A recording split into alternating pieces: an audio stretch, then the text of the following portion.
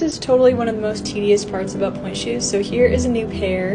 You have to do this or else the heel would fall off. So I start off with stretchy ribbon that pulls up the bagging on the side. I measure about two knuckles back and I thread the needle with floss and just sew that right on there.